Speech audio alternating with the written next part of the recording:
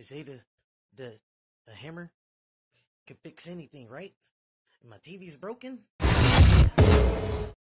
Holy shit.